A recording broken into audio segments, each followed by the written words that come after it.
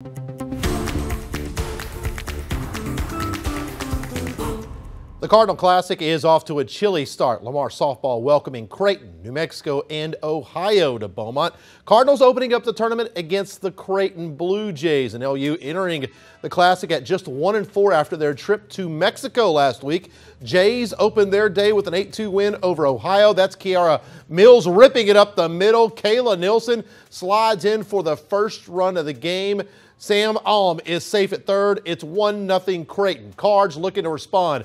PNG's Sydney Adams. She's going to sneak this one through up the middle, but she would be stranded on base. Still 1 0 Creighton. Alyssa Gappa chops this ball to third. Josie Marquette sliding in under the tag, and it's a 2 0 lead for the Blue Jays.